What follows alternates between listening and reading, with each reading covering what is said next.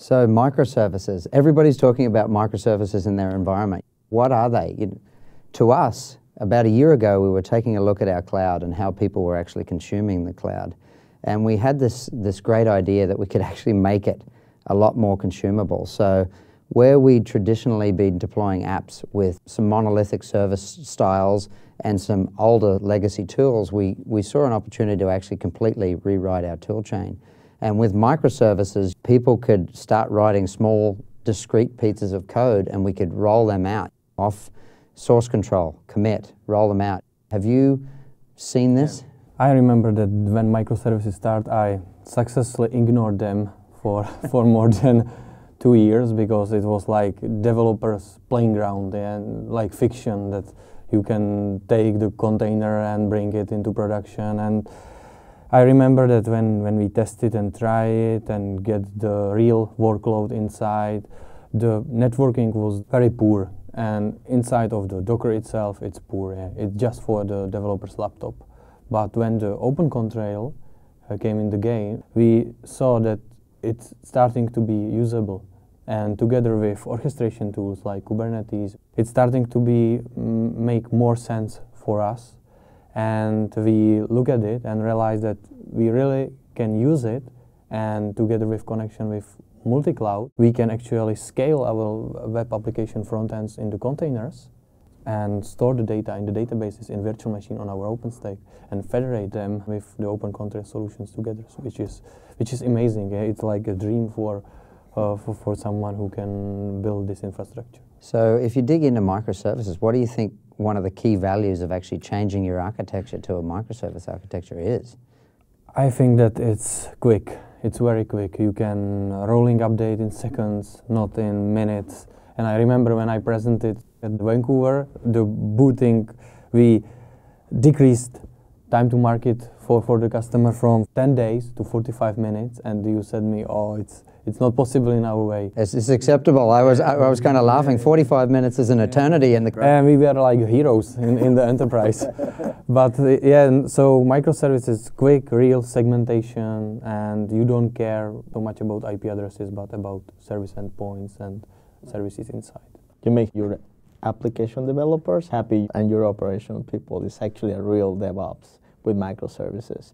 I think microservices is just a natural evolution of the application right? In the past, we had these huge bare metal servers, and you need to put as much as possible because you actually wanted to use as much as possible of the resources given by that box, right? right? We start virtualizing things to go to workloads. Okay, now I don't need to run everything in the same box and partitioning. Now you have like containers and other technologies. So your application becomes a little bit more granular, and that makes the application developer happy because they commit something, they patch something, and the continuous integration system that they need to approve that commit goes back in minutes, right? Because it, need, it needs to test exactly that part of the integration. It doesn't need to test everything, right? And now when you move it to production and you have a very dynamic technology to actually connect it with the rest of the services seamlessly, you don't need to actually bother operations teams with multiple number of tickets that actually know what happened. Sometimes actually you create a very good middleware between what the application framework is and the operation system could be like a simple push red button and that's it. Right, absolutely. I think we were going after the, the time to market use case and the developer experience. It's the app dev, right? So when you actually break down how you would write an app on VMs, it's, you need to know a lot about operational things, right? How I tie a load balancer, some networking, some storage. But these container orchestration systems really just give you a pane of glass and you don't actually know what's happening so much behind the scenes. They give you the application, so all you're worried about is writing the code, right? So this is what we wanted to, when we actually went and took pulse of how the developers were feeling, they were like, we don't deploy because we don't know how to rebuild.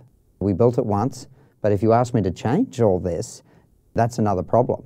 So when we actually started rolling out these discrete very lightweight pipelines which you can achieve with microservices. I saw one app that was deployed 100 times in a week just off commits. So what that actually meant in the background, which was a side effect, we weren't actually expecting it, code was becoming better because commits were becoming smaller and people were looking and testing faster rather than actually holding their PRs to these massive things because they don't necessarily know how to get them out in the environment. So when we went down the microservices journey, it was important for us the whole Docker experience. You start on your laptop on a Sunday night and it's great. You spin up an app and you come into work on Monday and you go, can you put this in production? And obviously the answer is no. So we, we knew that we needed to get in front of this revolution, uh, that people were going to come to this naturally. So we'd already had the conversations with the Open Contrail community and we'd kicked off getting Kubernetes plugin ready in Open Contrail. So we knew that when we were going to production, we had this same security multi-tenancy brought to containers because that's something that actually hasn't come to pass in the container story yet. The networking is still largely ignored, but Open Contrail actually has a, a quite a solid story under Kubernetes to actually provide secure multi-tenant networks the same way they do it to VMs.